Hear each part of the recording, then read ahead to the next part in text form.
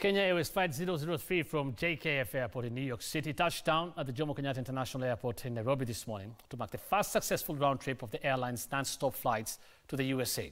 Faisal Ahmed with the details.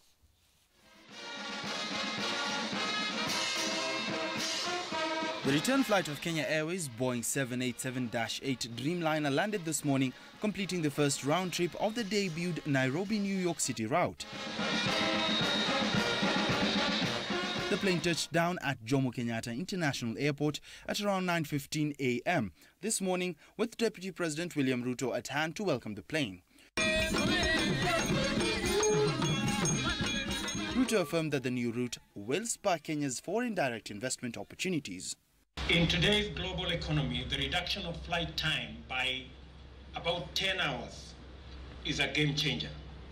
It changes tourism, it changes trade, and it changes the whole aviation industry.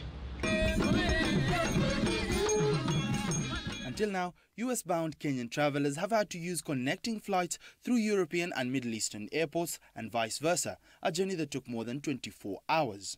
This now reduced to a 15 hour journey eastbound and 14 hours westbound, cutting off the journey by about 8 hours. This opening up the New York route for Kenya Airways marks, is a, marks the turnaround in Kenya's future, in Kenya Airways' future.